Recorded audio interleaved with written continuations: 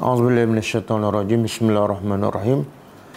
الحمد لله رب العالمين نحمده ونستعين ونستغفره ونعوذ بالله من شرور أنفسنا ومن سيئات أعمالنا. من يهده الله فلا مضل له ومن يضلل فلا هادي له. أشهد أن لا إله إلا الله وحده لا شريك له وأشهد أن محمدا عبده ورسوله.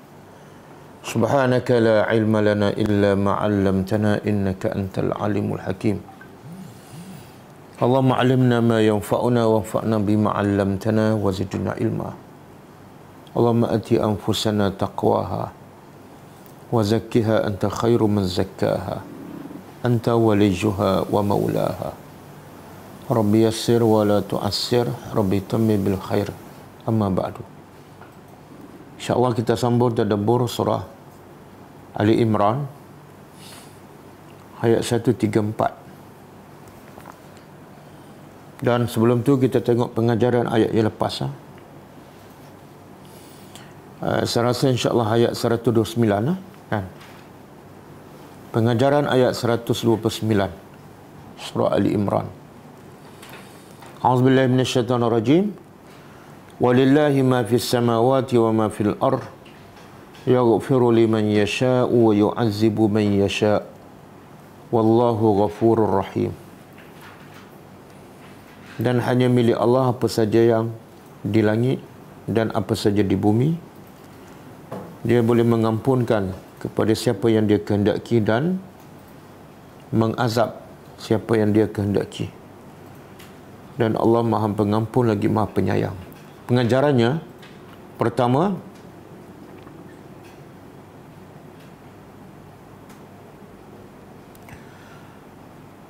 betapa luasnya kerajaan Allah dan kebesarannya.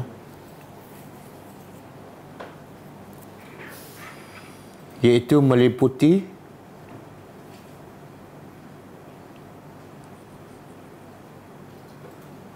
semua apa yang di, di tujuh lapis langit dan semua yang di tujuh lapis bumi.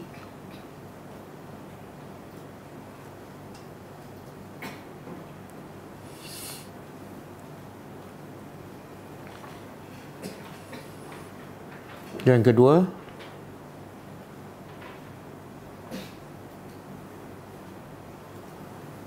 hanya Allah sahaja pemilik tunggal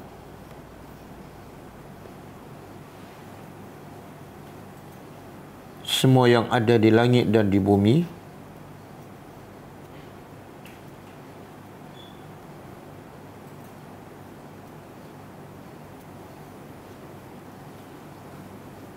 dan oleh kerana itu hanya Allah sahaja yang berhak disembah.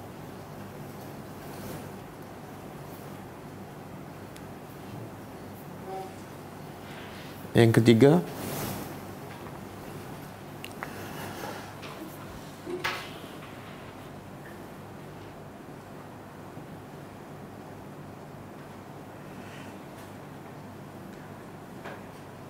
keampunan hanya milik mutlak Allah. Keampunan hanya milik mutlak Allah sahaja.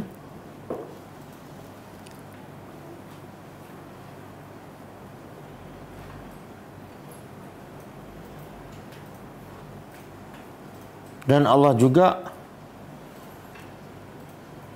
dia sahaja yang boleh mengazab manusia di akhirat.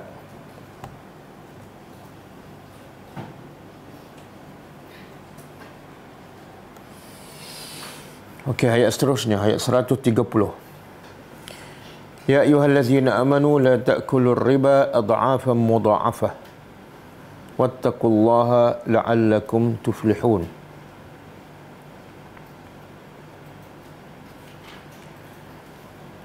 Wahai orang yang beriman jangan kamu makan riba.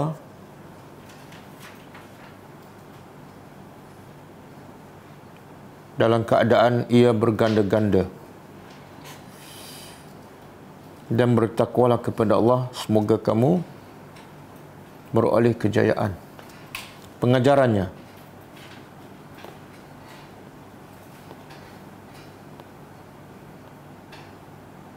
Pertama riba adalah dosa besar.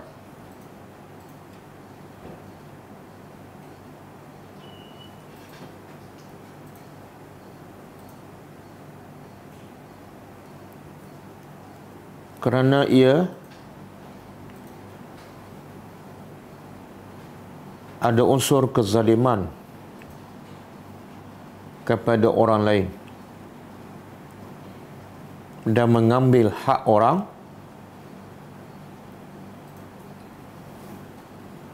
tanpa usaha.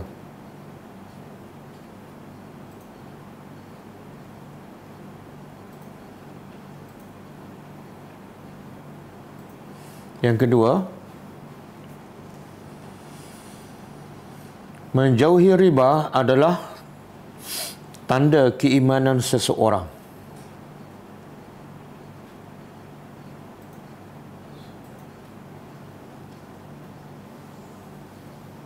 Manakala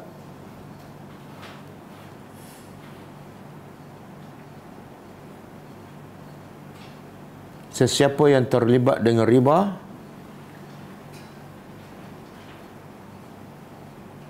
itu adalah petanda imannya lemah.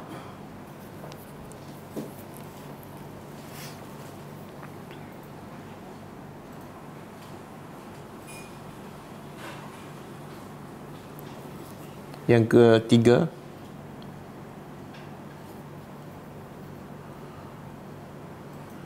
sesiapa yang mengambil riba, dia sebenarnya sedang diperangi oleh Allah dan Rasul.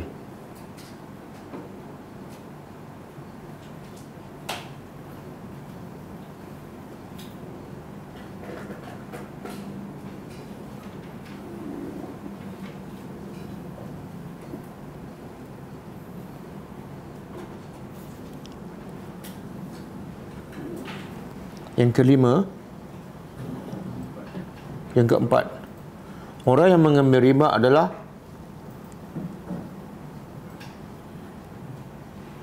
orang yang tamakkan harta dunia sebagaimana orang yang lapar tamak kepada semua makanan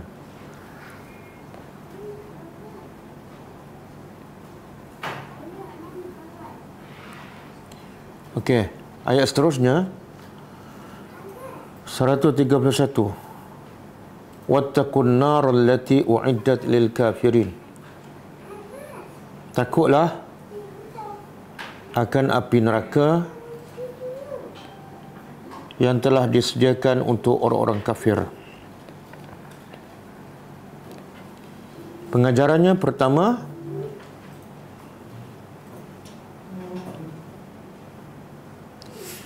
wajib melakukan sesuatu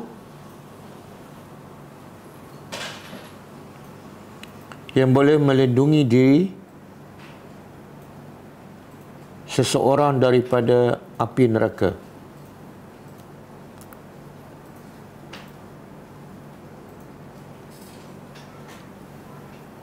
Yang kedua, neraka telah wujud sekarang.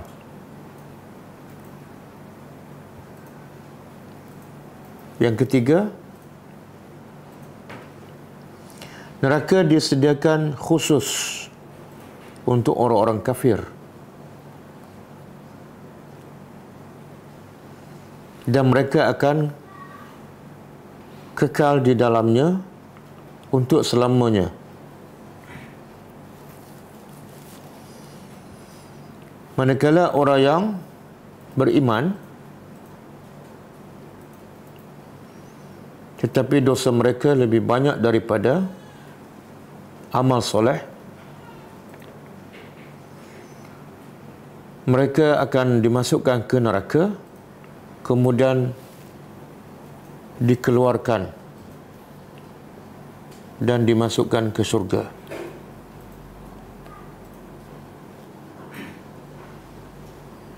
Okey ayat 132. Wa ati'u Allah wa rasula la'allakum turhamun. Dan hendaklah kamu taat kepada Allah dan Rasul semoga dengan itu uh, supaya dengan itu kamu mendapat rahmat Allah. Uh, pertama pengajaran pertama wajib taat kepada Allah dan Rasul dalam semua keadaan.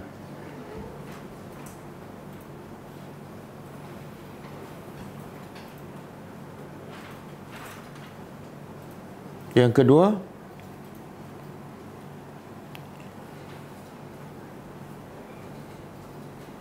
tidak sempurna ketaatan seseorang kepada Allah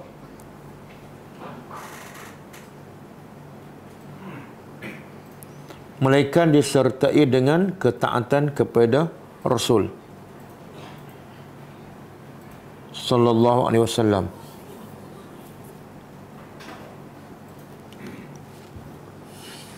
Yang ketiga ketaatan kepada Allah dan Rasul adalah penyebab utama manusia mendapat rahmat Allah.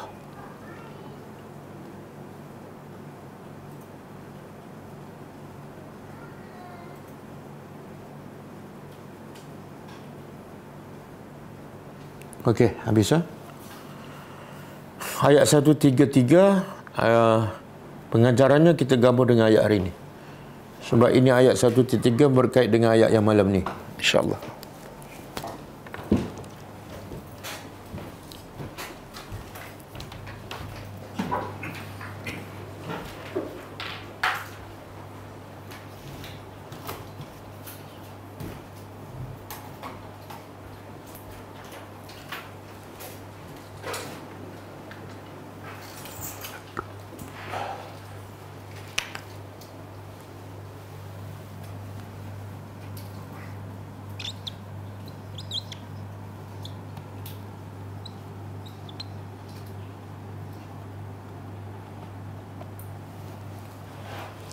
Uh, ayat malam ni kaitan dengan ayat sebelum ialah uh, kalau ayat sebelum ni Allah beritahu wasari'u ila maghfiratin min rabbikum wa jannatin arduha as-samawati wal ard. Berlombalah kamu untuk mendapat keampunan Allah kemudian berlomba untuk mendapat syurga yang luas. Seumpama luasnya langit dan bumi dan syurga yang luas itu uiddat disediakan telah disediakan untuk orang yang bertakwa. Jadi timbul soalan, siapakah orang bertakwa yang layak mendapat syurga seluas langit dan bumi? Dan semalam kita dah bincang. Sebenarnya syurga bukan seluas langit dan bumi, tetapi lebih luas, lebih besar daripada langit dan bumi. Sebab syurga berada di atas langit.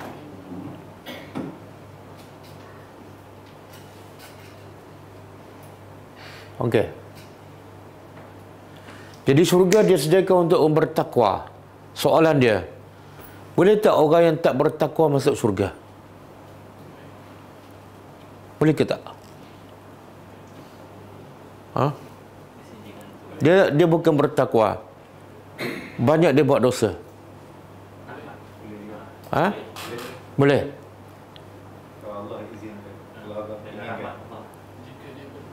Kalau Allah izinkan. Boleh bagi dalil tak? Tapi last last dia jadi orang bertakwa lah tu. Tak, bila dia bertobat memadamkan semua dosa dia kan? Akhir orang bertakwa lah tu. Ha? Allah dah terima taubatnya. Taubat lah tu. Taubat lah. Buat tu ahli syurga. Ada tak orang yang iman dia sebesar zarah dimasuk ke dalam neraka tapi akhirnya dia keluarkan? Ada. Kan? Ada hadis sahih. Jadi kalau iman sebesar zarah bertakwa ke tak? Tak. Tapi akhirnya dikeluarkan. Sebab tu Allah kata neraka ni disediakan untuk orang kafir. Makna yang kekal hanya orang kafir. Kalau masuk neraka keluar dia bukan kafir itu. Dan tak mestinya bertakwa. Kalau bertakwa dia terus masuk syurga. Begitu juga kanak-kanak yang mati masa kecil kan? Sama ada anak orang Islam ke anak orang kafir, mereka ni bertakwa ke tak? Tak. Ha. Jadi bila sebut disediakan khas untuk bertakwa, kita kena faham bahawa yang selain pada ber, yang bertakwa pun boleh masuk. Asal dia tidak kafir. Okey.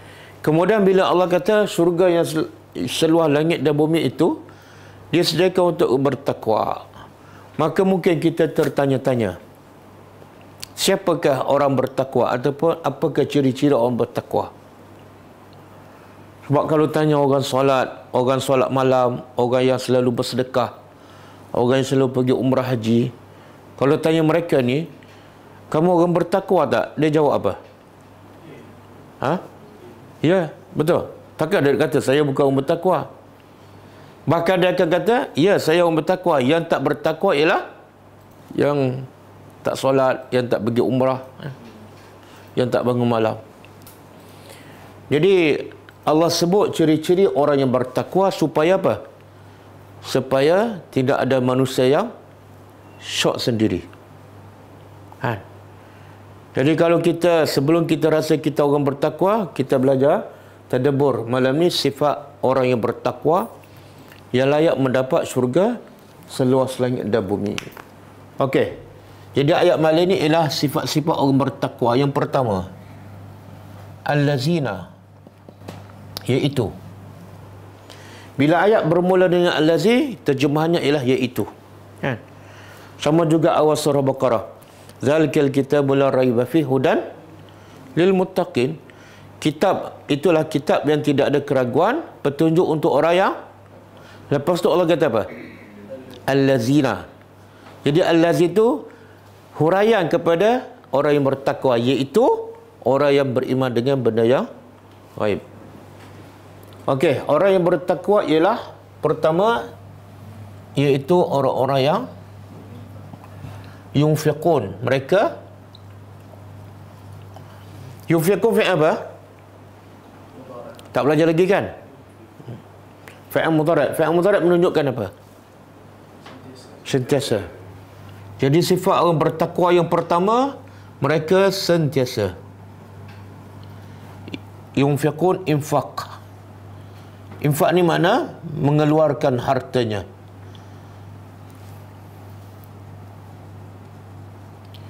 Fisarra ketika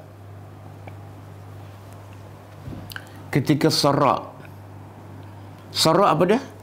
Ma yasurru. Apa yang menggembirakan kamu. Apa yang menyenangkan kamu.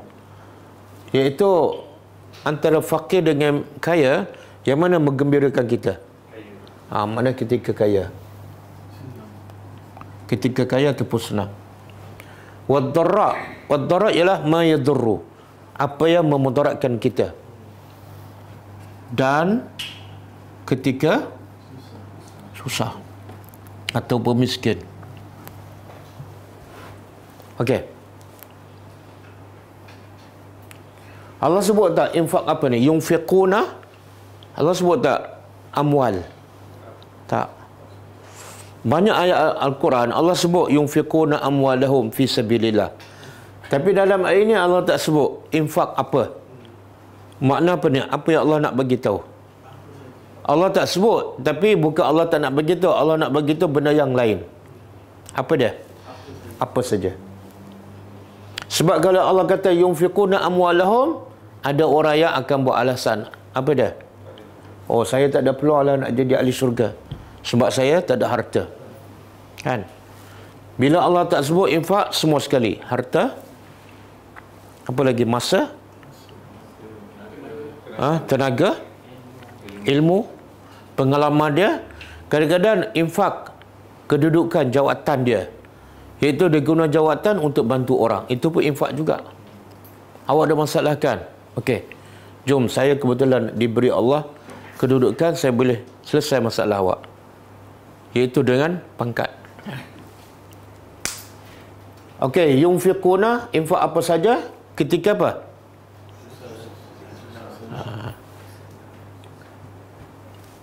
Kalau infak ketika senang, ramai boleh infak. Betul? Bukan bukan satu kelebihan sangatlah. Orang kaya infak satu juta, hebat tak? Hebat? Tak hebat. Sebab dia ada seratus juta. Tapi yang luar biasa beda dia infak ketika susah. Dia infak ketika susah. Pernah dengar tak orang fakir tu selalu infak? Pernah dengar tak? Tak pernah kan? Jarang ke tak pernah? Yang kita dengar ialah orang fakir selalu di meminta. Okey. Uh, ketika susah, macam mana contoh?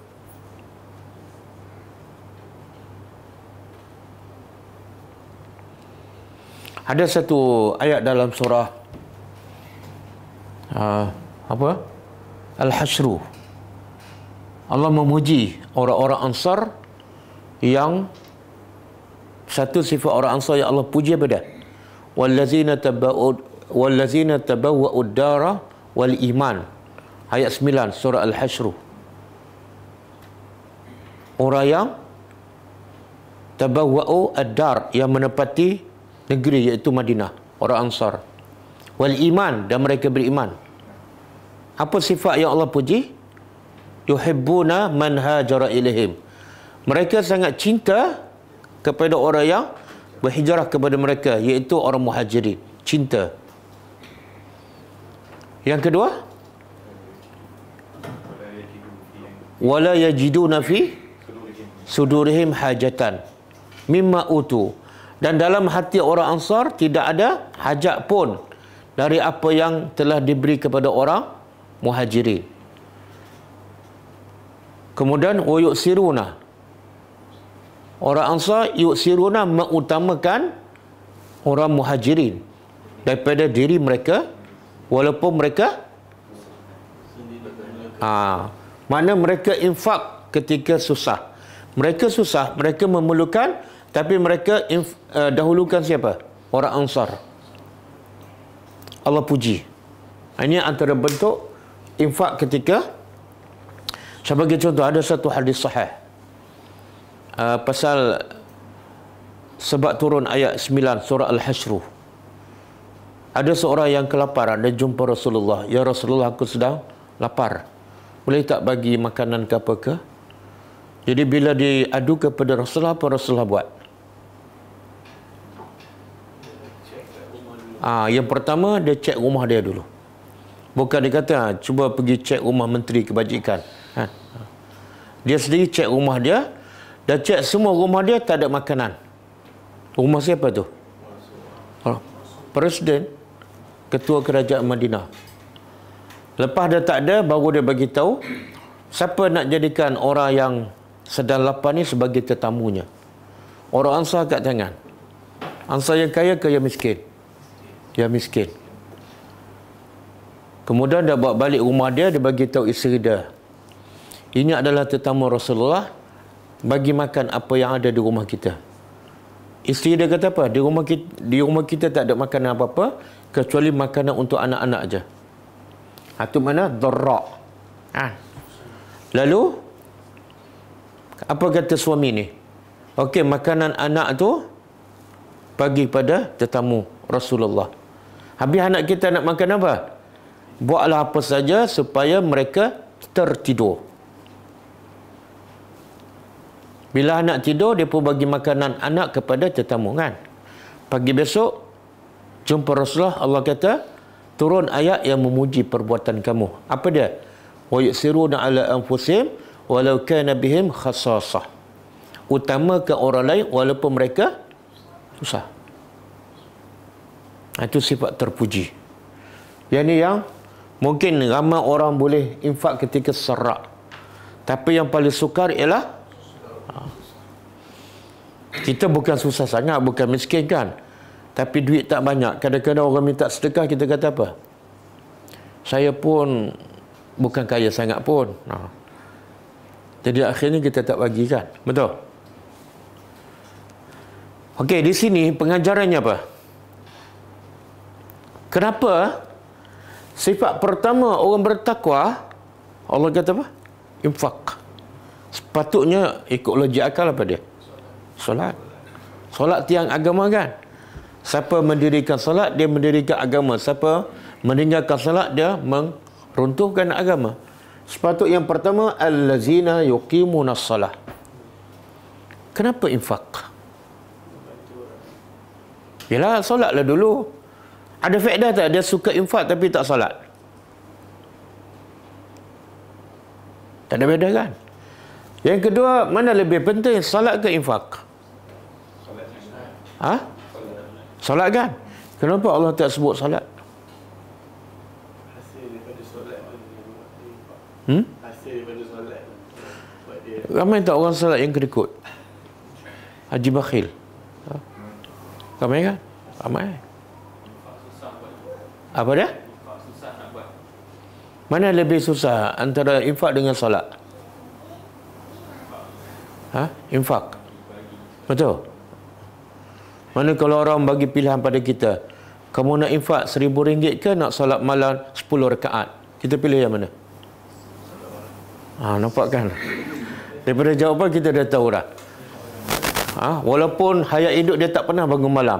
Tapi bila diberi pilihan, dia rela bangun malam. Sebab apa? Sayangkan duit. Okey, sebab apa Allah sebut infak pertama? Sebelum ni cerita pasal apa? Cerita pasal riba kan? Riba kan? Ya ayyuhallazina amanu. Itu Allah cakap dengan beriman, wahai orang beriman, jangan la takulu riba, jangan ambil riba. Apa makna riba? Riba ialah orang yang cintakan harta, tamakkan harta. Betul? Dengan duit sikit dia boleh gandakan harta dia dengan riba kan? Jadi cerita riba, cerita orang tamakkan harta. Okey, Allah kata jangan ambil riba. Saya nak pahala apa ni? Saya nak berganda harta saya. Tapi Allah kata haram. Ini adalah alternatifnya. Yang suka tamakkan harta jenis orang Yahudi. Orang beriman tamak juga. Tapi tamak apa? Pahala. Betul tak kamu nak berganda? Kalau riba, mungkin seratus. Dapat orang bayar, mungkin seribu. Tapi kalau kamu bagi harta sebagai sedekah, kamu dapat berapa? Subhanallah. Bukan surah Ar-Rum. Ayat 39. Surah Ar-Rum ayat 39. Wama wa ma ataitum min min riba liyarbua fi amwalin nas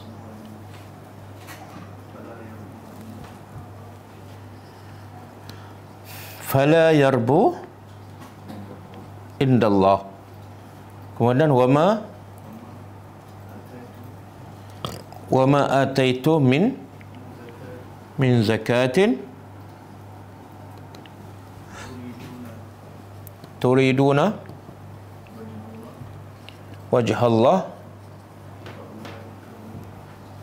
faulaika humul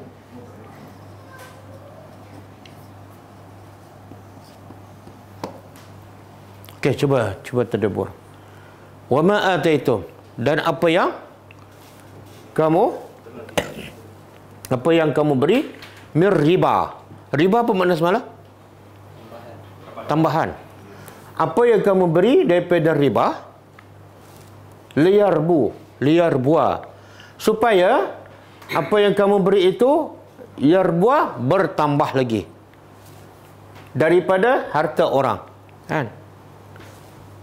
fala yarbu indallah dia tidak akan bertambah di sisi Allah di sisi Allah tidak nilai langsung bahkan dalam surah Baqarah Allah kata apa yamhaqullah ar-riba Allah menghapuskan keberkatan harta riba tak ada berkat nampak banyak kan sebab tu sentiasa tamak menunjukkan apa dah banyak nak lagi nak banyak lagi kan itu menunjukkan tak berkat Okey, habis apa yang sepatutnya macam mana pula orang beriman nak tambahkan harta dia? Wa ma ataitum min zakatin. Apa yang kamu beri daripada zakat?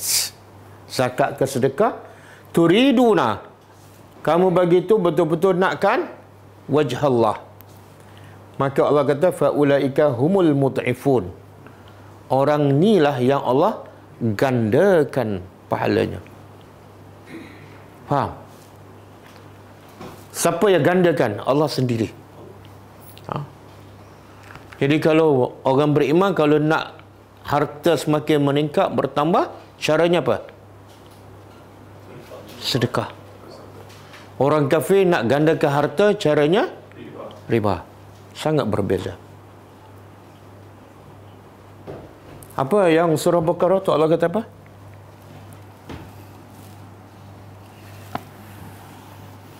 ayat 275 ke? Cuba tengok. Ayat 275. Yamhaqullahu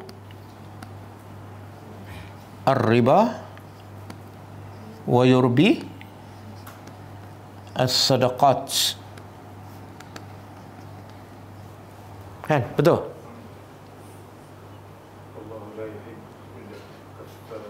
Ah, wallahu la yuhibbu kulla kafarin asim. Kita cuba terjemah. Yamhaqullah. Dengar siapa yang terlibat dengan riba. Dia dia dia rasa dia akan dapat harta yang berganda, tapi tengok Allah kata apa? Yamhaqullahu riba. Allah ma dia terjemah apa? Mesusukkan dan ada ahli tafsir menterjemah menghilangkan keberkatan harta daripada riba. Dan wa yurbi. Yurbi daripada riba lah. Mana Allah menggandakan, menambahkan apa dah? Sadaqat. Kalau betul kamu nak tambah harta, bukan dengan riba, tapi dengan sedekah. Yang ni Allah akan tambah. Boleh? Okey. Jadi uh, soalan tadi kenapa Allah sebut sifat pertama orang bertakwa ialah infak? Sebab apa tadi?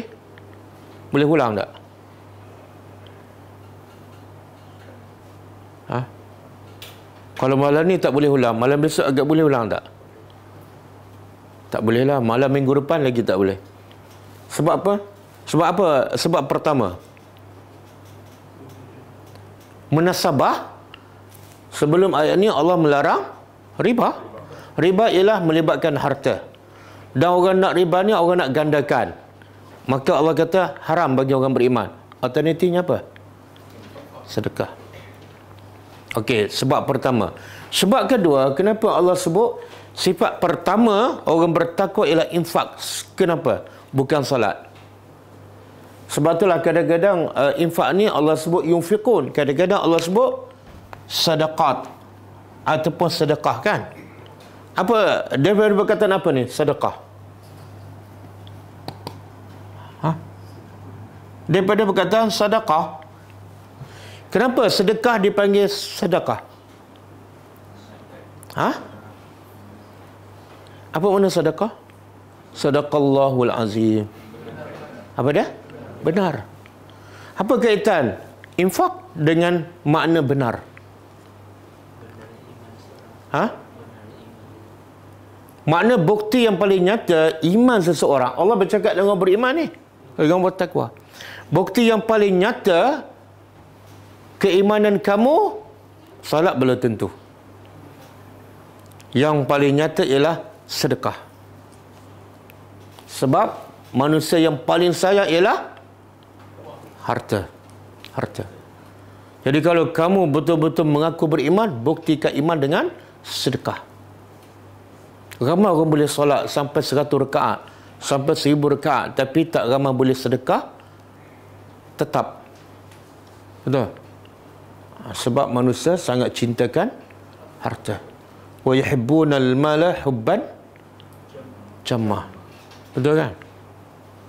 Yang duk bekerja keras keluar pagi balik petang ni nak cari pahala ke nak cari duit? Ha? Cari duit lah. Cari duit. Bila dia akan cari pahala? Bila dah lembek dah, tenaga dah tak ada, mata dah rabun, telinga dah tak berapa dengar, baru nak cari akhirat. Ha? Okey. Uh, jadi sedekah sebagai tanda yang paling jelas keimanan seseorang.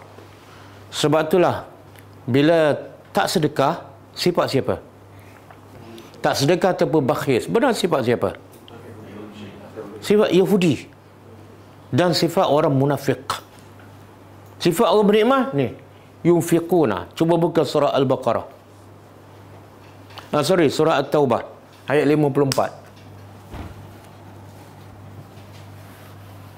Kalau orang kafir memang tak akan bagi sedekah. Kecuali ada kepentingan. Kalau orang munafik dia kena bagi juga. Sebab apa? Berlakon. Ha, berlakon. Sebab dia rupa di Islam dia kena bagi, tapi cara dia bagi apa dah? Surah uh, Taubah. Allah kata apa? Wa ma mana'ahum uh, bawah tu. Wa idza qamu ila salah Kan? Ayat yang sama bahagian akhir. Ah, wala yatuna salah. Oh, nampak whiteboard dah okey ah, maka pun okey, pemadam pun okey.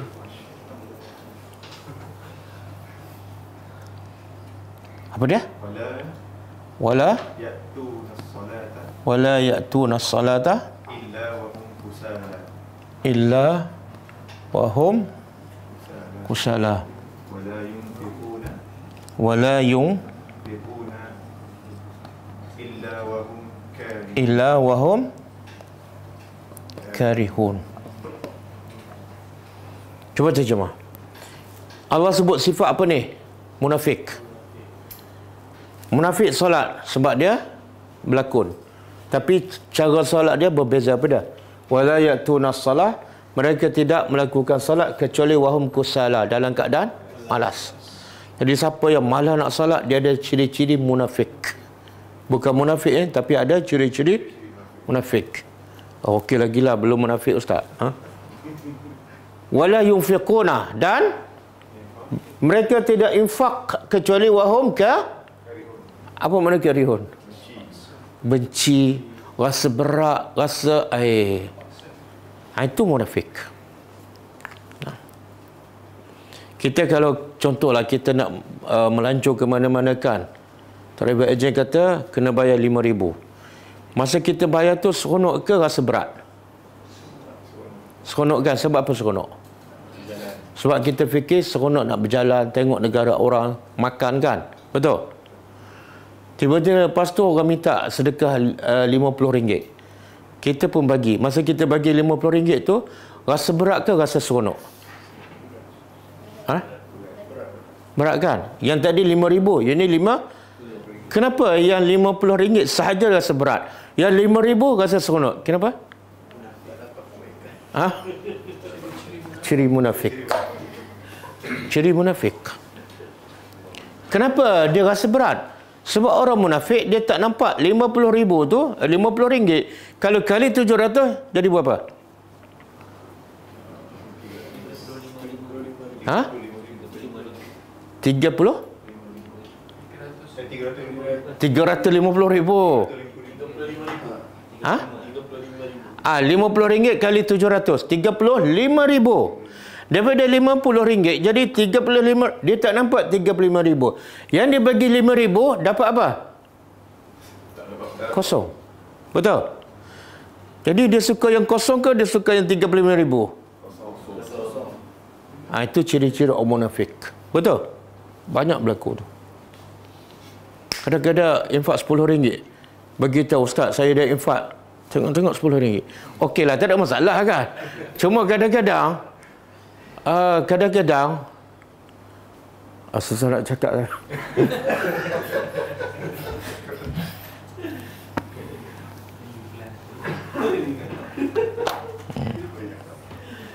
kita bukan kita bukan nak marah tapi kita kesian pada dia.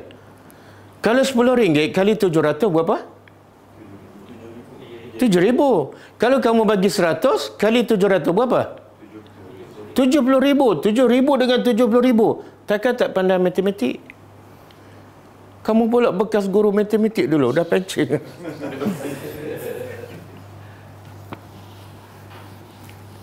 Jadi saya nak ingatkan. Bila kita infak ada rasa berat, susah. Itu ciri-ciri munafik. Sebab tak masuk akal. Tak masuk akal orang beriman. Sedekah, dia rasa berat. Kenapa?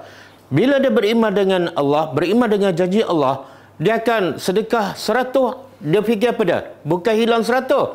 Digandakan. Dia akan jadi seronok. Bukan tak suka. Boleh faham? Ha? Okey. Dan di sini juga Allah nak bagi tu sifat orang beriman. Yunfiquna. Fi'al apa? Fi'al mudarat. Bila fi'al mudarat Allah sebut tak dia infak bila ni? Ha? ha buka surah Baqarah pula 274. Surah Baqarah 274. Allazina yunfiquna amwalahum bil laili wan nahari sirran wa alaniyatan lahum ha?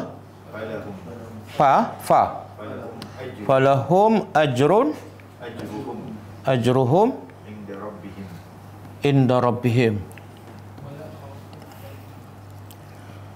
Wala khaufun alaihim wala hum yahzanun. Okey. Ayat ni menghuraikan ayat ni. Allah tak sebutkan yunfikun Allah tak sebut bila. Maka ayat ini menghuraikan. Allazina yunfiquna. Orang-orang yang infak amwalahum hanya sebut harta yang ni dia kata okey sikit ustaz tak sebut harta yang ni sebut harta kemudian Allah kata apa bila ni bil laili wan nahar siang dan malam Lepas tu sirran wa alaniyah. Sirran mana? Sembunyi. Alaniyah? terang-terang. Apa beza malam dengan siang dan sembunyi dengan terang? Apa beza? Betul, tepat. Allah nak bagi tahu orang beriman, orang bertakwa, dia infak tak kira waktu. Siang pun bagi, malam pun bagi. Dan cara pula tak kira cara. Kalau perlu sembunyi, dia sembunyi. Kalau perlu di hadapan orang sebab terpaksa, dia bagi. Makna apa tu? Kalau dia hanya infak siang je, belum beriman sebenarnya. Kalau dia hanya infak alania secara terbuka saja, belum beriman sebenarnya. Boleh faham? Kalau dia infak tunggu, bil laili fi Ramadan. Maksud beriman tak? Tak. Ustaz, saya nak tunggu Ramadan. Tunggu sekejap. Ah, ada seminggu lagi. Ada seminggu lagi.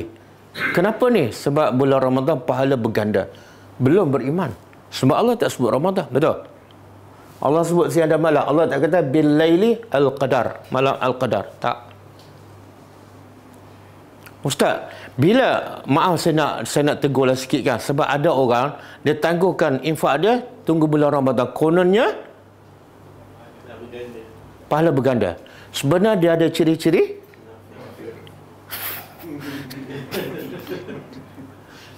Okey ke ciri munafik?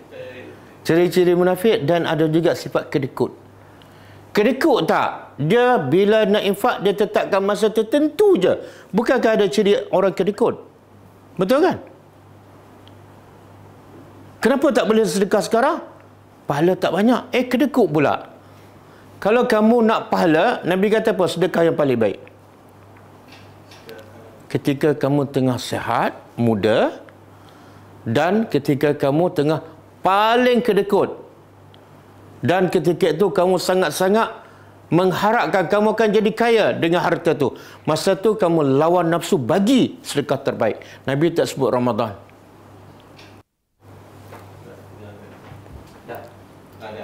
Okey. Ayat yang saya baca tadi surah apa? Surah Al-Munafikun kan? Surah Al-Munafikun. Allah kata infaklah sebelum datang kematian. Kenapa? Allah beritahu. Allah Maha mengetahui. Bila dah datang kematian semua ini ayat ni untuk orang beriman ni. Semua akan minta tangguh. Wahai Tuhan, bagi tempoh dia nak tempoh yang lama ke sekejap? Sekejap, sekejap kan? Untuk aku fa'as-saddaqa untuk aku sedekah. Dia sebut tak? Ya Allah, bagilah Tuhan tempoh sampai Ramadan. Ada? Yang penting dia nak apa? Dia nak infak aja. Tak penting bulan apa.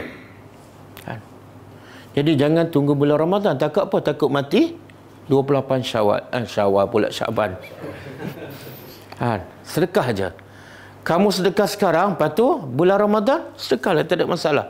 Jangan kerana nak tunggu Ramadan sekarang, sepatut kamu dapat peluang, mungkin sedekah kamu terbaik sekarang. Tiba-tiba terlepas. Kononnya nak pahala banyak bulan Ramadan. Betul. Sedekah bulan Ramadan, banyak pahala. Tapi, apa sifat Nabi? Sedekah ikut sunnah Nabi. Macam mana? Nabi? Sedekah sepanjang masa. Cuma bila masuk bulan Ramadan, lagi laju, lagi cepat. Jangan pula sebelah Ramadan KIV, eh, sebelah bulan. Masuk Ramadan, laju je. Bukan sunnah Nabi. Bukan sunnah Nabi. Okey, boleh eh? Dan kita tengok ah, Allah nak bagi tawaran kepada orang beriman. Bila kamu infak siang dan malam. Yang kedua, secara terbuka terputera, apa dapat? Apa dapat? Falahum ajruhum. Bagi mereka ni pahala mereka pahala pula siapa yang bagi? Inda rabbihim. Ya Allah yang ni orang orang orang munafik tak nampak ni. Yang dia nampak ialah bila bagi infak duit kurang. Dia tak nampak ni ajrum inda rabbihim. Itu di akhirat. Kat dunia apa dapat wala khaufun alaihim walahum kat dunia tidak ada rasa takut tidak ada sedih Allah Ustaz, tu je. Itu je. Tak ada ke lebih sikit? Tak sedih, tak takut, lepas tu dapat projek satu lagi. Kenapa Allah kata kat dunia tidak sedih, tidak takut? Ha? Apa dia?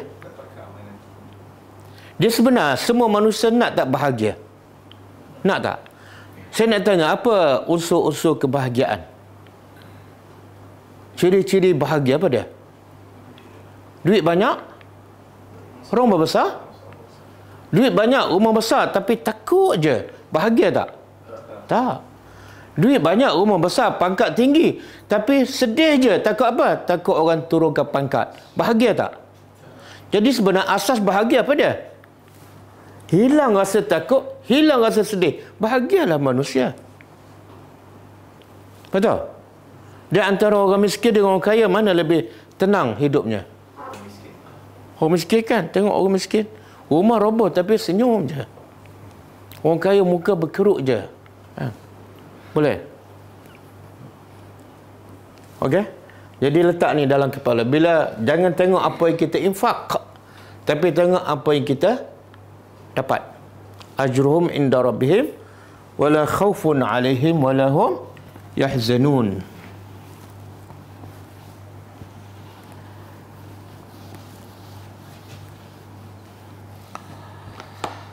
Okey. Yang kedua. Yang ni agak susah kan? Yang kedua lagi susah. Ini tak perlu ke, tak perlu kelah duit. Tapi sebenarnya lagi susah. Apa dia? wal kazimin al ghaiza. Dan sifat kedua orang bertakwa. Orang-orang yang tahan. Ghaiza marah. Dia biasa marah kita dengar perkataan apa? Al ghadab kan? Ghadab ghadab faba'u bi ghadabi min Allah jadi apa beza al ghadab dengan al ghaizu Ghadab marah. Kalau al-ghaizu ha, ini al-ghaizu. Al-ghaizu ialah asyaddul ghadab. Lebih teruk daripada marah. lebih teruk daripada ghadab asyaddu al-ghadab kalau marah biasa-biasa ghadab lah tapi kalau marah sampai maki hamun orang sampai pukul orang sampai bunuh orang itu dipanggil ghaizah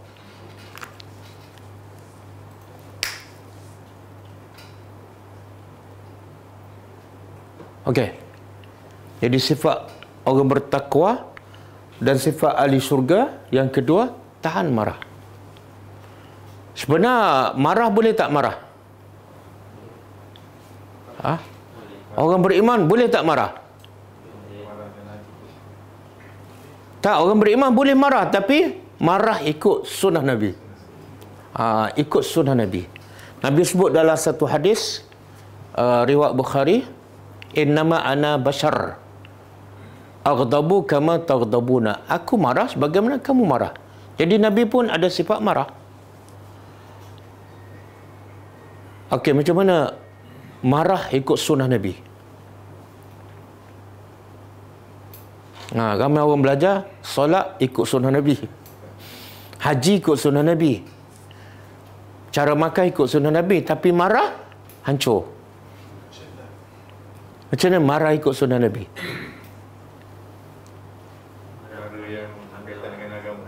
Ha? Bila marah bila berkaitan dengan agama. Maksudnya bila orang ini agama ini Allah. Ha. Kalau orang buat salah pada kita, dia ni bukan bukan masalah agama. Contohlah kita apa ni orang buat kereta laju, lepas tu air tu mengecik kat badan kita kan. Kita pula nak pergi kenduri kan. Baju baru baru gosok kan. Kena air tu kotor. Ha, masa tu kita kata apa? Kalau ikut sunnah Nabi. Alhamdulillah. Betul ke? Ini macam berlakon je. Inna lillah wa inna Ni nak pergi kenduri bukan pergi ziarah orang mati ni. Ha? Kata Salma Al-Farisi, bila kamu marah, jangan buat dua benda. Iaitu tahan lidah, tahan tangan. Marah ikut sunnah Nabi ialah Jangan ah, simpan dalam hati. Inilah makna kazimin. Kazimin makna habsu al-ghadab fin nafsi. Tahan marah dalam ni, dalam. Marah memang ada. Sebab tu dia kata tahan. Dia bukan Allah tak kata hilangkan marah. Marah tak boleh hilangkan. Sebab tu kata Sayyidina Umar manis uh, manis tughdiba fahuwa himar. Uh, manis tughdiba walam yaghdab fahuwa himar. Siapa yang menyebabkan dia tu marah tapi dia tak marah. Umar kata dia memang keldai orang ketuk kepala senyum. Orang maki senyum. Orang maki agama senyum. Kenapa ni? Saya sabar himar keldai sebab marah tu adalah satu sifat semula jadi. Cuma orang beriman dia tahan marah. Tahan simpan. Jadi kata Salman Farisi pada marah ikut sunnah Nabi ialah jaga lidah, jaga tangan. Betul? Yang kita bila marah yang tak boleh kontrol apa dia? Lidah. Oh, lidah cepat sangat. Bodoh. Kan? Ha. Apa dia? Ha, tangan, tangan. Ah, ha, tangan tu ganti mulut lah tu, kan? Keyboard kan? Dengar je orang itu, cepat-cepat nak balas. Lepas tu menyesal, ya Allah. Lepas tu besok buat lagi, menyesal lagi kan? Ha, ha. Okey. Sebab itulah uh, Kazimina Tahamara. Cuba buka surah surah apa ni? Surah Al-Qalam. Surah Al-Qalam ayat 45 ke? Cuba tengok. Wahwa kazim, wahwa kazim.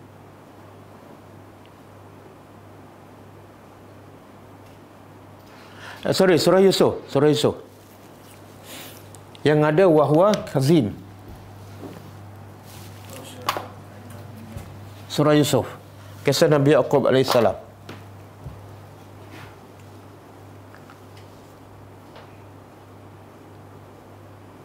Tak ingat ayat berapa?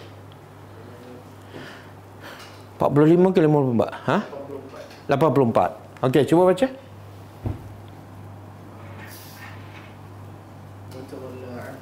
Wa tawalla anhu anhum wa qala ya asafa ala yusuf wa biyaddat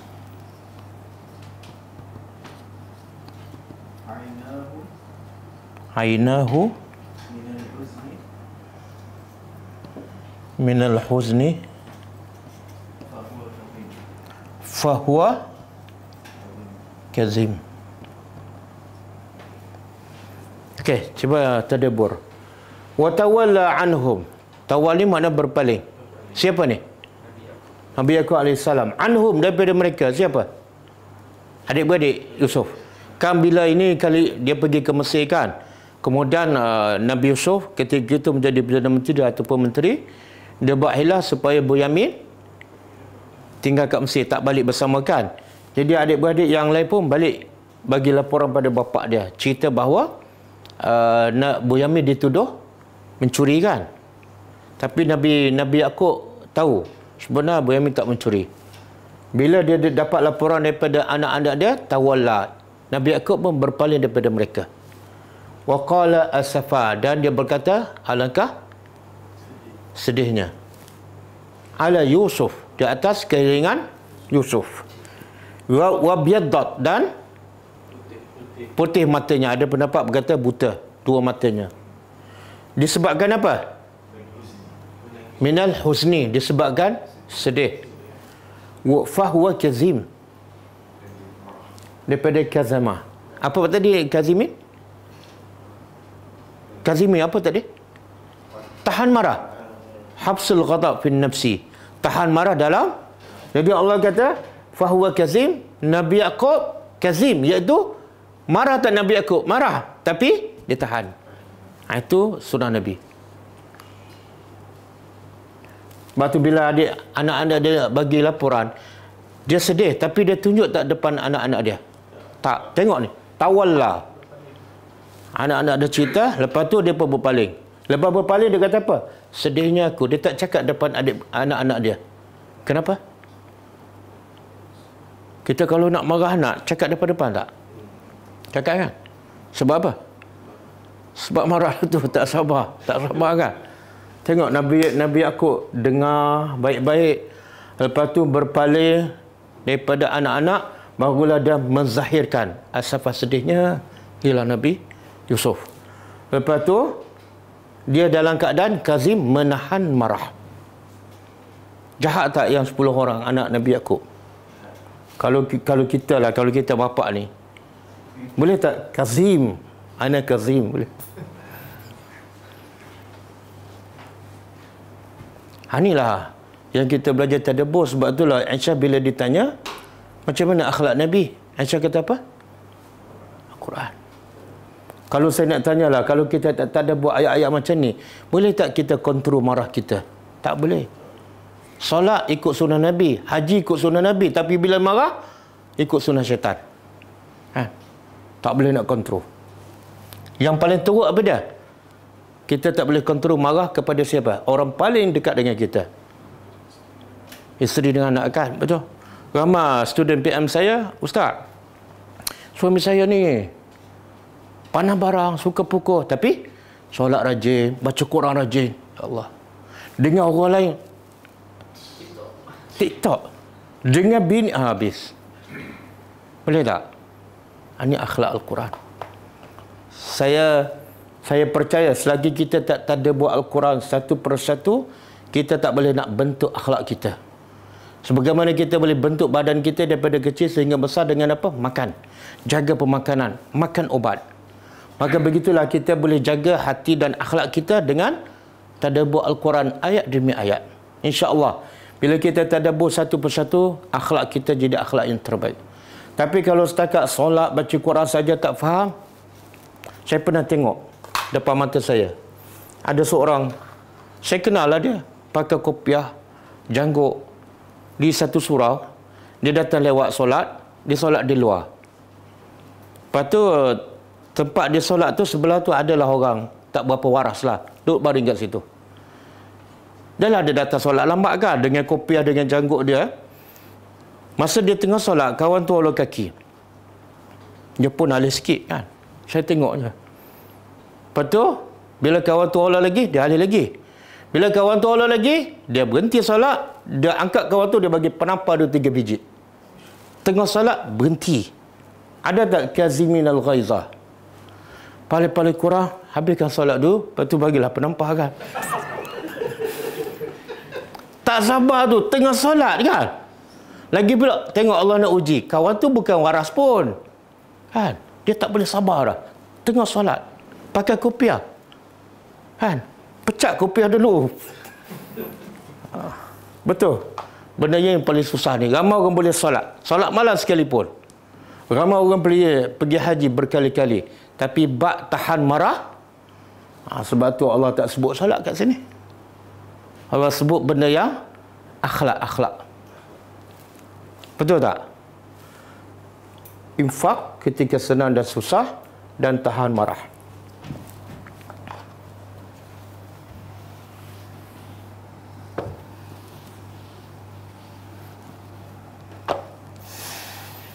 ada seorang ulama saya dengar ceramah dia dia kata apa kalau kamu nak marah sangat dah biasa kamu maki orang kan?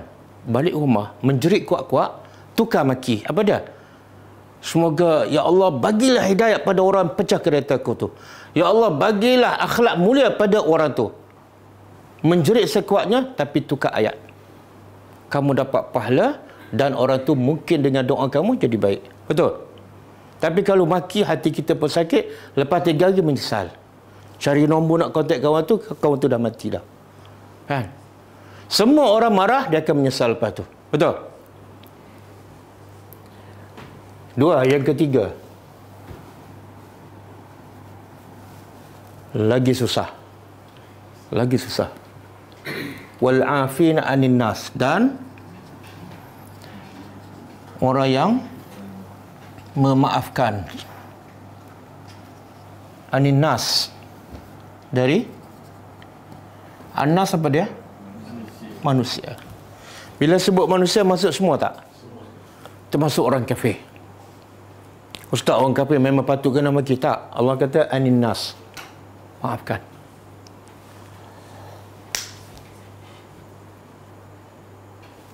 Boleh? Ada orang boleh tahan marah kan? Tapi tak boleh maafkan. Okey, saya boleh tahan marah tapi kesalahan awak saya tak boleh maafkan. Tujuh keturunan. Ha, ha. ha. Belum orang bertakwa, belum orang bertakwa. Sebab ini bukan sifat pilihan ni. Ustaz, saya nak yang nombor satu je. Nombor dua, tiga saya tak nak. Tak, ini bukan pilihan. Ini package. Mesti kena ada semua. Wal'afina anin nas dia ada beza afi dengan al-afu dengan as-safhu. Cuba buka. Contoh contoh. Orang yang boleh marah dan boleh as-safhu. Cuba buka surah an-nur ayat 22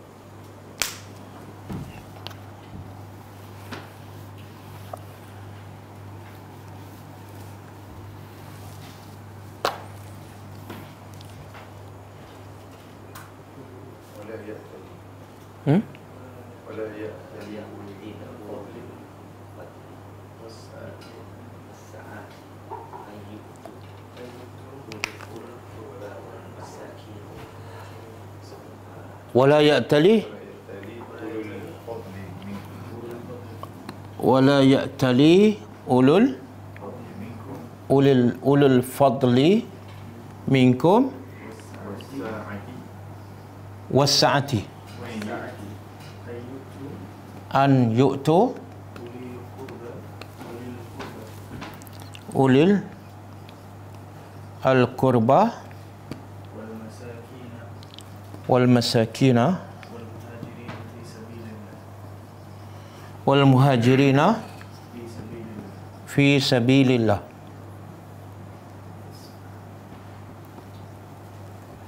Okey.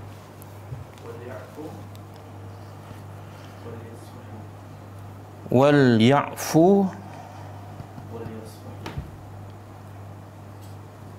wal yasfahu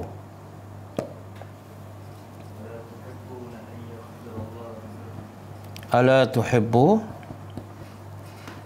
ain yaghfirallahu lakum okey wallahu ghafurur rahim okey ini kisah ayat ni turun kepada Abu Bakar radhiyallahu anhu. Kisah dia ketika apa ni? Peristiwa hadisul ifki. Aisyah dituduh berzina. Aisyah anak Abu Bakar kan? Jadi bila orang munafik mereka cerita Aisyah dituduh berzina, ada sahabat Nabi yang beriman percaya. Berapa orang yang percaya ni sahabat Nabi? Tiga orang kan? Siapa? Hasan bin Sabit. Yang kedua, perempuan Hamnah binti Jahsh, adik ipar Rasulullah, adik kepada Zainab binti Jahsh. Yang ketiga, ni. Keluarga uh, keluarga Abu Bakar yang miskin dan Abu Bakar selalu bagi bantuan pada dia, keluarga ni. Nama dia Mastah. Mastah bin Usasah.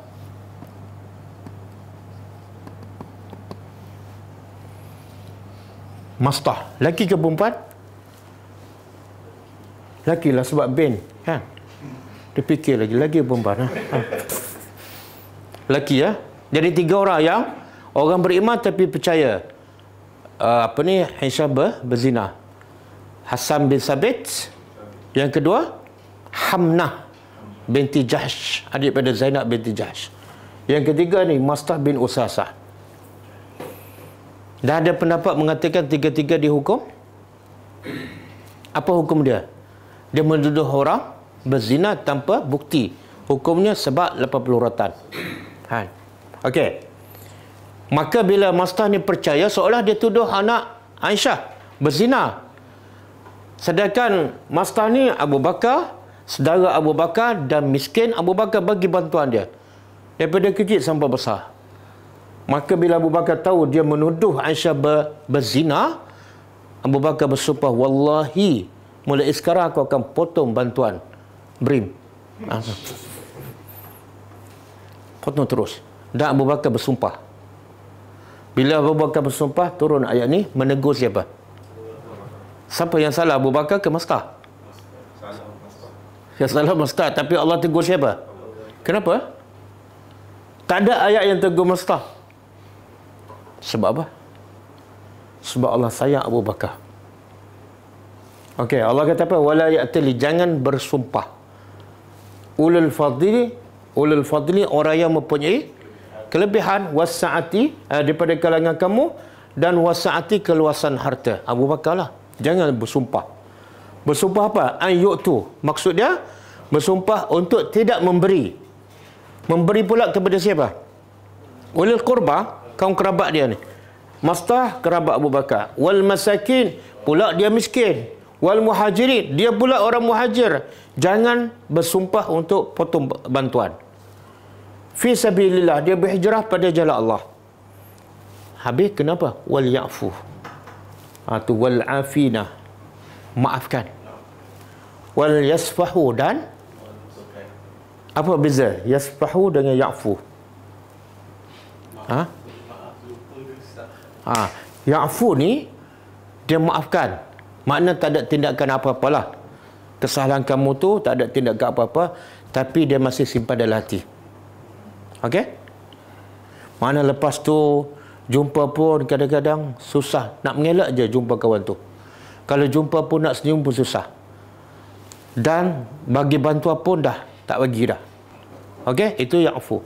Yasfahu lupa terus macam kamu kawan tu tak pernah buat salah. Dia boleh bagi bantuan semula. Bahkan kawan tu buat jahat dia boleh bagi bantuan semula. Kenapa? Wal yasbahu lupa terus kesalahan dia. Macam tak ada apa-apa. Boleh faham?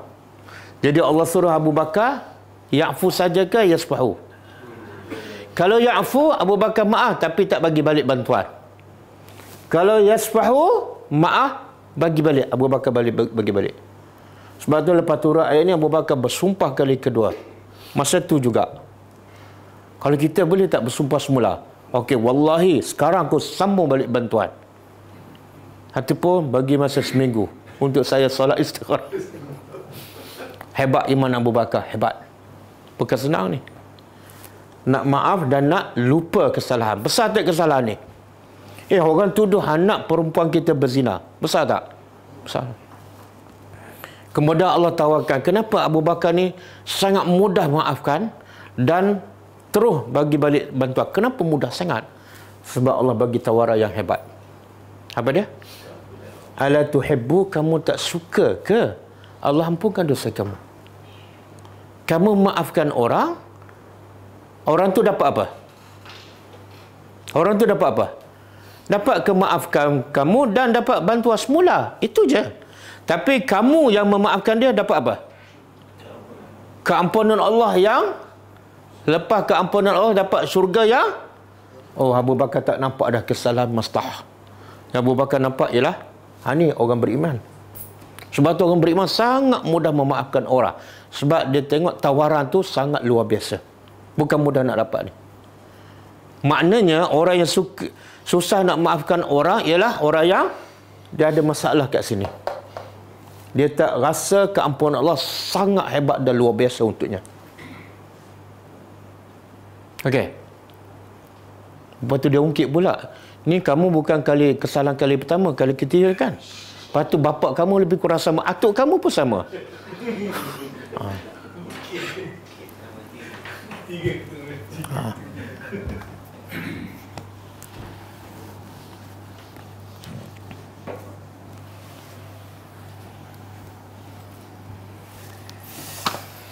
Kita pernah dengar kisah uh, Nabi dengan pembunuh Hamzah. Nama apa? Wahsy. Apa keadaan Nabi dengan Wahsy? Dia tak nak tengok kan? Kenapa Nabi tak nak tengok? Itu hadis sahih tu. Ha? Okey, sekarang bila Nabi Nabi Nabi maaf ke tak? Tapi kenapa Nabi kata jangan tunjuk muka kamu? Kenapa? Ah, ada ulama mengatakan Nabi maaf tapi Nabi tak as-safhu. Sebab tu Nabi kata kalau aku tengok kamu aku rasa mungkin aku akan jadi benci pada kamu. Dan ulama kata kenapa Nabi tak buat yang terbaik? Ulama mengatakan Nabi sebagai musyarrek, sebagai contoh Nabi nak begitu boleh, dua-dua boleh. Kamu nak maaf sahaja tanpa safhu, boleh, itu hak kamu kamu nak afu dan sapu sekalipun itu terbaik. Kan? Oh ustaz saya nak ikut sunnah nabi je. Saya nak afu Okey, wallahu dan Allah yuhibbu. Apa dia yuhibbu? Cinta muhsinin orang-orang. Apa mana muhsin ni? Ah daripada perkataan ihsan. Kalau kita terjemah harfiah orang-orang yang berbuat baik. Ah okey. Orang tanya pula berbuat baik apa ni? Jawapannya ialah satu pendapat muhsinin ialah yang buat semua tiga sifat ni Siapa infak fi sarra wa dharra, siapa tahan marah, siapa yang afina anin nas, dia adalah muhsinin. Dia dapat apa? Dapat apa? Cinta Allah. Wallahu yuhibbu. Ha. Sebab tu sahabat sangat mudah nak tahan marah, sangat mudah maafkan orang sebab dia tengok ni habuannya ialah dapat cinta Allah. Okey, itu satu. Oh. Kalau orang tanya apa mana siapa muhsinin yang buat tiga ni semua tak adalah muhsinin. Habis kenapa Allah sebut? Allah sebut lagi. Allah nak bagi dorongan pada kita. Kamu nak tak cinta Allah. Jadilah orang muhsinin. Macam mana jadi orang muhsinin? Buat tiga ni jadilah orang muhsinin dan dapatlah cinta Allah. Satu, oh. yang kedua, tafsir yang kedua, ayat terakhir pada maafkan manusia Dan lagi baiklah setelah kamu maaf, kamu buat baik pada orang yang buat salah pada kamu. Allah sangat cinta. Pun betul. Betul kan? Sebab kita biasa buat baik pada siapa? Orang buat baik itu biasa. Orang panggil balas budi kan? Ha. Tapi yang paling sukar ataupun jarang orang buat apa dia? Orang buat jahat kita buat baik. Orang bagi bulan Ramadan kan, bagi bubur kan. Besok kita bagi tak? Kita bagi, kita bagi benar kan? Dengan harapan apa dia? Dia bagi lagi kan? Ha, itu biasa. Tapi kalau besok orang letak sampah depan rumah kita, kita bagi tak bubur kat dia besok? Ha? Orang tak sampah depan rumah kita. Kita bagi tak bubur ke tom yam ke? Kari kepala ikan ke? Ha? Ha, ha, ha. Tengok. Itu tak tahulah apa tu. Ha? Muhsin pun tak, mutaki pun tak. Praktiskan, ha? praktiskan. Kalau kita nak cinta Allah, orang letak sampah, bagi bubur yang lagi special. Besok dia letak sampah lagi, bagi kari kepala ikan. Kan? Akhir-akhir, kan Allah ada ayat Allah kata apa? Idfa' billati hiya ahsan. Tolaklah kejahatan dengan ahsan dengan cara yang terbaik. Lepas tu Allah bagi tahu. Hasilnya apa?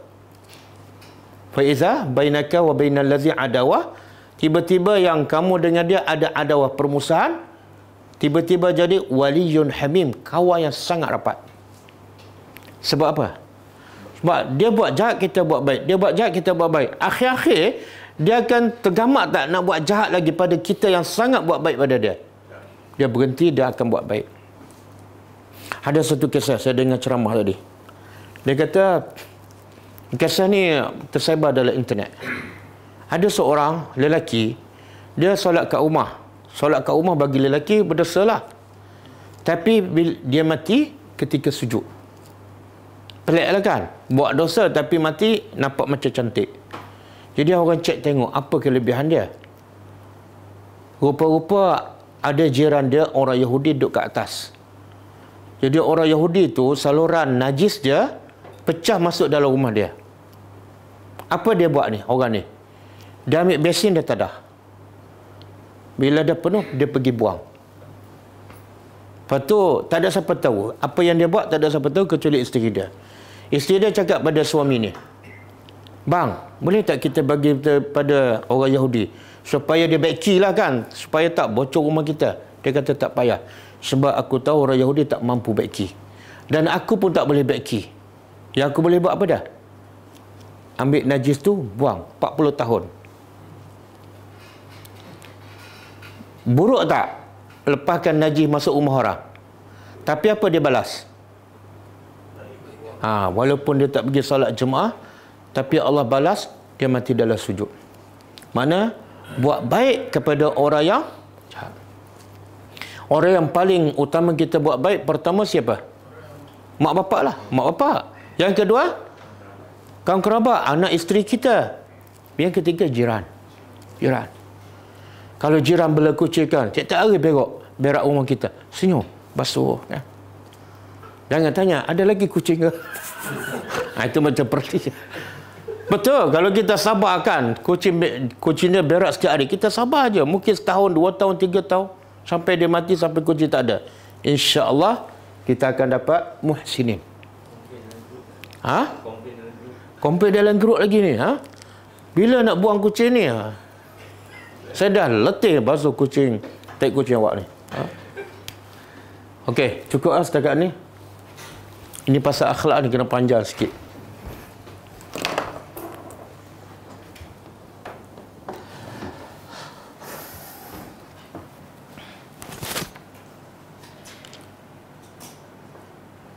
Okey, masa pun dah lewat. Cukup ah? InsyaAllah kita jumpa lagi malam malam besok. Tersambung ayat satu lagi. Ini sifat orang bertakwa tak habis lagi ni. Baru tiga, ada ada satu lagi. Ayat satu, tiga, lima. InsyaAllah. Semoga bila lepas kita tak ada bodoh ayat ni, kita akan dapat lembutkan hati. Dapat bentuk akhlak kita menjadi akhlak Al-Quran. Tama-tama kita nak masuk bulan Ramadan. Janganlah mulut kita semakin banyak baca Quran di bulan Ramadan. Tapi akhlak tak berubah pun. Ha?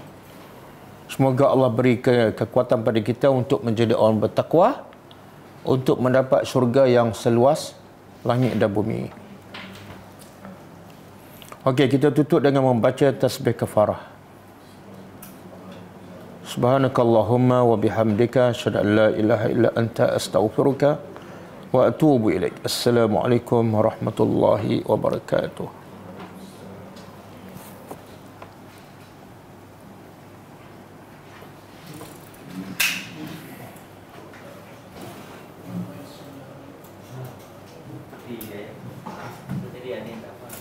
Ha? Tak faham apa?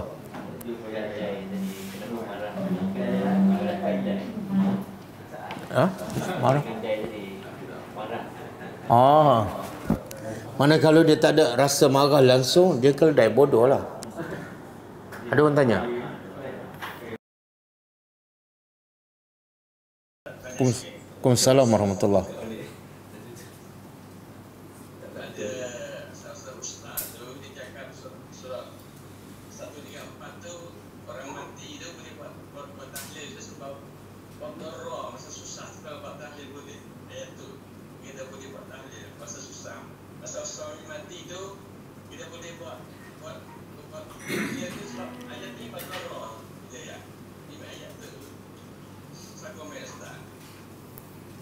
Tak tak faham soalan.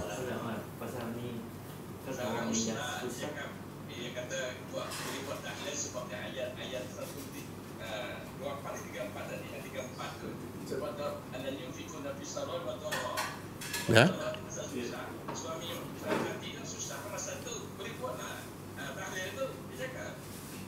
Hoi, itu dah dah menyimpang jauh dah.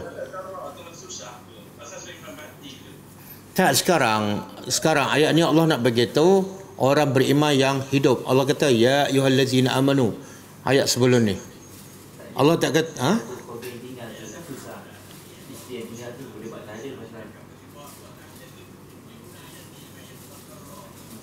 Tak tak. Maksud dar- darat tu orang matilah. boleh buat tahlil kalau dia susah kan ayat tu Dia infak pada siapa? Tak tak tak. Okey sekarang Quran Quran ada cakap laqad kana lakum fi rasulillah uswatun hasanah. Pasti sesungguhnya bagi kamu pada Rasulullah ada ikutan terbaik. Jadi kalau kita nak praktiskan ayat ni kena ikut panduan yang Nabi buat. Nabi tak pernah buat tahlil kepada orang mati apatah lagi berpandukan ayat ni. Ha? Jadi kalau nak buat apa-apa pun ikutan kita ialah Rasulullah SAW. Bukan ustaz, bukan masyarakat. والله أعلم. كتاب الله